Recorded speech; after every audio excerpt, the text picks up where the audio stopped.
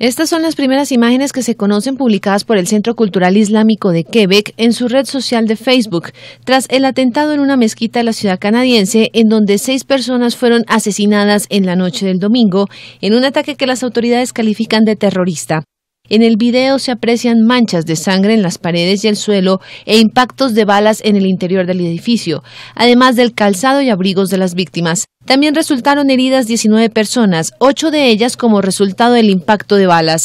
Alexander Bisonet, de 27 años de edad, fue imputado el lunes por la policía canadiense como el presunto responsable, quien fue capturado poco después del ataque e imputado con seis cargos de asesinato en primer grado y cinco de intento de asesinato. Conocidos de Bisonet añadieron que en el último mes había cortado la mayoría de las comunicaciones con sus amigos y que el joven se había radicalizado en Internet.